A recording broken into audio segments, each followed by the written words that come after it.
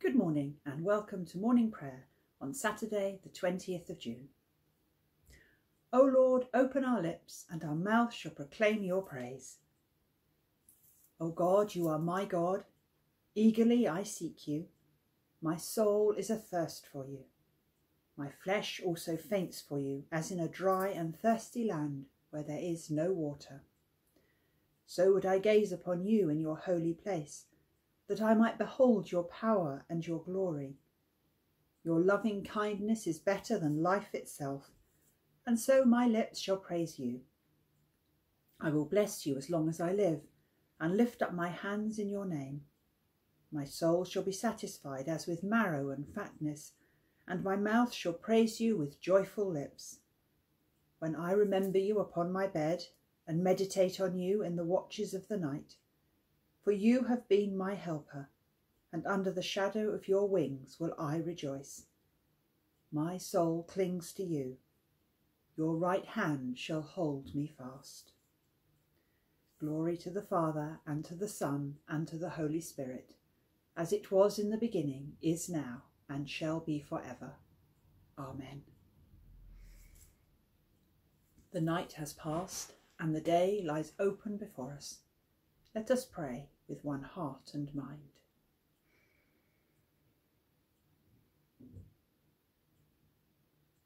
As we rejoice in the gift of this new day, so may the light of your presence, O God, set our hearts on fire with love for you, now and forever. Amen. Psalm 41 Blessed are those who consider the poor and needy. The Lord will deliver them in the time of trouble. The Lord preserves them and restores their life, that they may be happy in the land. He will not hand them over to the will of their enemies. The Lord sustains them on their sick bed. Their sickness, Lord, you will remove. And so I said, Lord, be merciful to me. Heal me for I have sinned against you. My enemies speak evil about me, asking when I shall die and my name perish. If they come to see me, they utter empty words. Their heart gathers mischief. When they go out, they tell it abroad. All my enemies whisper together against me. Against me they devise evil, saying that a deadly thing has laid hold on me and that I will not rise again from where I lie. Even my bosom friend, whom I trusted, who ate of my bread, has lifted up his heel against me. But you, O Lord, be merciful to me, and raise me up, that I may reward them. By this I know that you favour me, that my enemy does not triumph over me. Because of my integrity you uphold me and will set me before your face for ever. Blessed be the Lord, the God of Israel, with from everlasting to everlasting. Amen and Amen. God, our deliverer, raise up the poor and comfort the betrayed, through the one whom for our sakes became poor and whose betrayal brought our salvation, Jesus Christ our Lord. Psalm 42 As the deer longs for the water brooks, so longs my soul for you, O God. My soul is athirst for God, even for the living God. When shall I come before the presence of God?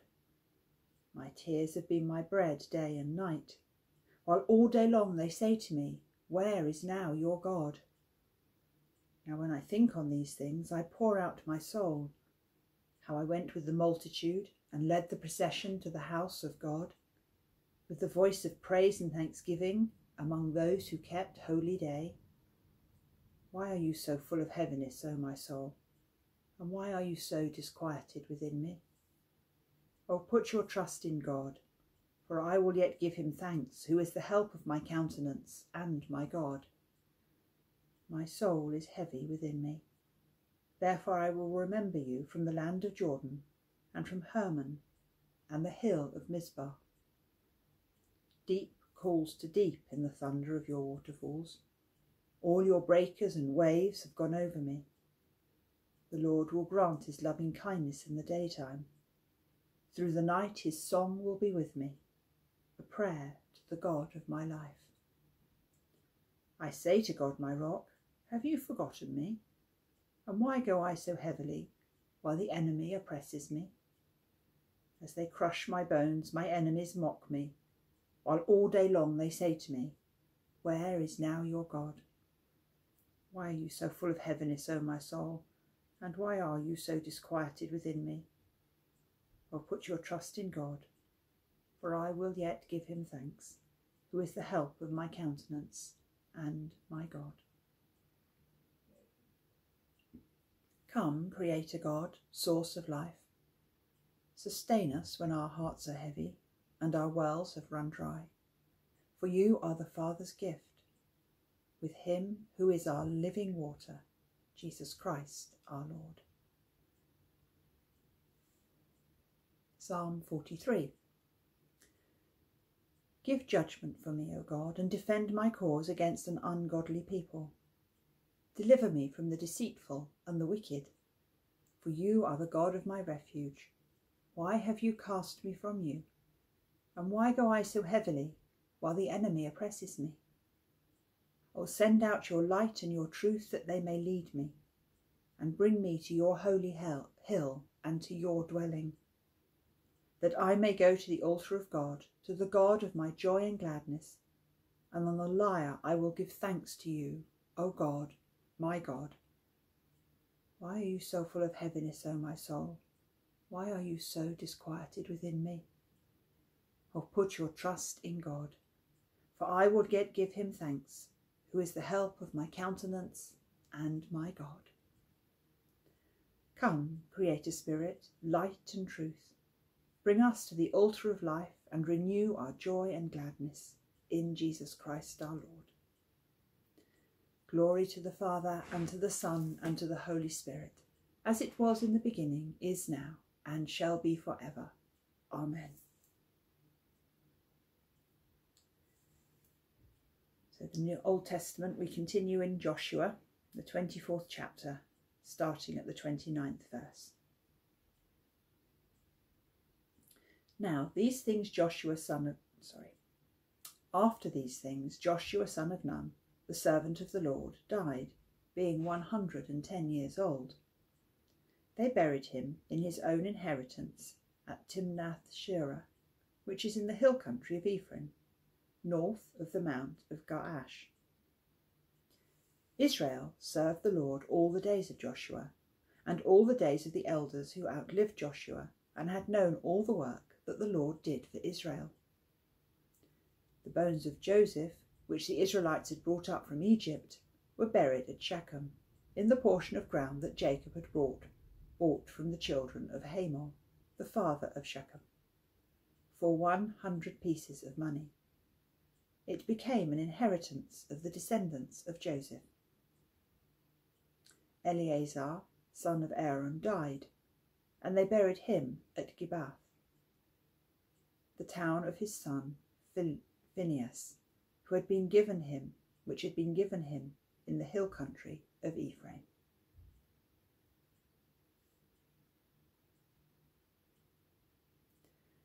Thus says our God, I will comfort you. You shall see, and your heart shall rejoice. Rejoice with Jerusalem and be glad for her, all you who love her, says the Lord. Rejoice with her in joy, all you who mourn over her.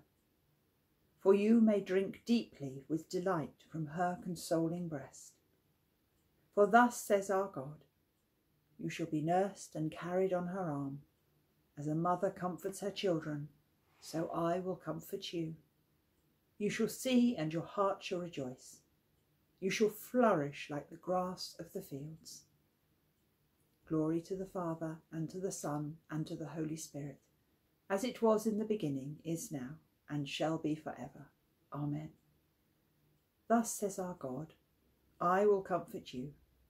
You shall see, and your heart shall rejoice. New Testament reading from Luke, the 12th chapter, beginning at the 49th verse. I came to bring fire to the earth, and how I wish it were already kindled. I have a baptism with which to be baptized, and what stress I am under until it is completed. Do you think that I have come to bring peace to the earth? No, I tell you, but rather division. From now on, five in one household will be divided, three against two, and two against three. They will be divided. Father against son, son against father, mother against daughter, daughter against mother, mother in law against daughter in law, and daughter in law against mother in law. He also said to the crowds, When you see a cloud rising in the west, you immediately say, It's going to rain. And so it happens. And when you see the south wind blowing, you say, There will be a scorching heat. And it happens. You hypocrites, you know how to interpret the appearance of earth and sky, but why do you not know how to interpret the present time? And why do you not judge for yourselves what is right? Thus, when you go with your ancestor before a magistrate, on the way make an effort to settle the case, or you may be dragged before the judge, and the judge hand you over to the officer, and the officer throw you in prison. I tell you, you will never get out until you've paid the very last penny.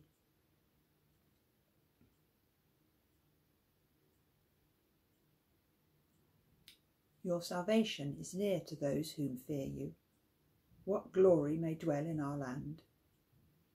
Your salvation is near to those who fear you, that glory may dwell in our land.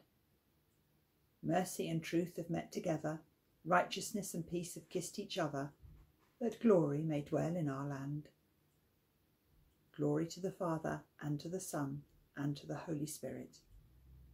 Your salvation is near to those who fear you that glory may dwell in our land. The Benedictus. Shine on us, O God, who dwell in darkness, and guide us into the way of peace. Blessed be the Lord, the God of Israel, who's come to his people and set them free. He's raised up for us a mighty Saviour, born of the house of his servant David. Through his holy prophets, God promised of old to save us from our enemies, from the hands of all that hate us, to show mercy to our ancestors, and to remember his holy covenant. This was the oath God swore to our father Abraham, to set us free from the hands of our enemies, free to worship him without fear, holy and righteous in his sight all the days of our life. And you, child, shall be called the prophet of the Most High, for you will go before the Lord to prepare his way, to give his people knowledge of salvation by the forgiveness of all their sins. In the tender compassion of our God, the dawn from on high shall break upon us, to shine on those who dwell in darkness and the shadow of death, and to guide our feet into the way of peace. Glory to the Father, and to the Son, and to the Holy Spirit, as it was in the beginning, is now, and shall be for ever. Amen. Shine on us, O God, who dwell in darkness, and guide us into the way of peace. Let us pray.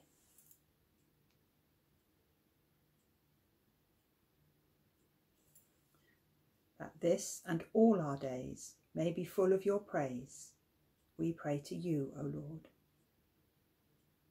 That you will keep us this day without sin we pray to you, O Lord. That we may walk before you in the paths of righteousness and peace, we pray to you, O Lord. That you will bless your people and lift them up forever, we pray to you, O Lord. That you will guide and protect us by your Holy Spirit and bring us with your saints to glory everlasting we pray to you, O Lord. Let us commend ourselves and all for whom we pray to the mercy and protection of God in a few moments of silence.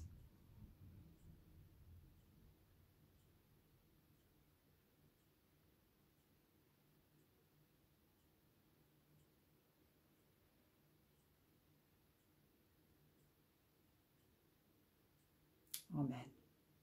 The collect for today.